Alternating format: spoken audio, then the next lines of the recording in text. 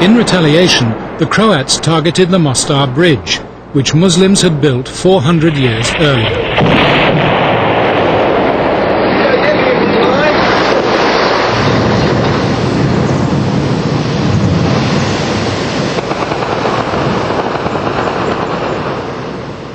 It was four years to the day since the Berlin Wall had come down, ushering in the New World Order.